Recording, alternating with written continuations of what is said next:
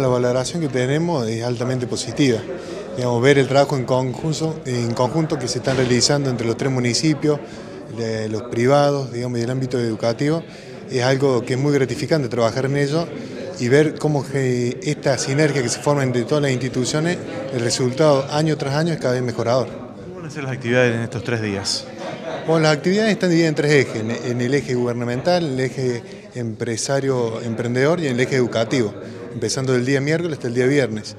Eh, el día jueves, que es el día de empresa emprendedor, se ha apuntado a lo local, diciendo, bueno, eh, desde Río Cuarto, desde el interior del interior, como muchas veces nosotros nos definimos, se puede llegar a hacer grandes cosas. Hoy la globalización y esta transformación digital no entiende de fronteras y no entiende de países, sino que entiende de conocimiento.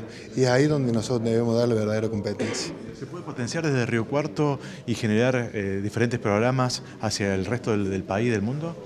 Pero eh, absolutamente, digamos, esta transformación digital no entiende de fronteras.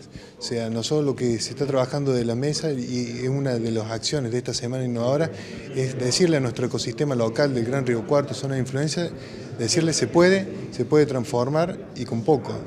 Eh, es la nueva era lo que estamos viviendo y es la materia gris en mayor capital de las, de las nuevas sociedades. Y ahí es donde debemos trabajar todos en conjunto, no solamente un solo sector. Y además de las experiencias locales, he invitado a disertantes que han desarrollado iniciativas a nivel nacional. Sí, a nivel nacional, a nivel mundial, digamos, eh, a nivel nacional tenemos a Martín Parcelis, que él viene a ser un poco eh, la persona que dice, es muy lindo esto la transformación digital, pero hay que hay mucha gente afuera, ¿qué hay que hacer con eso? ¿Cómo atacarlo?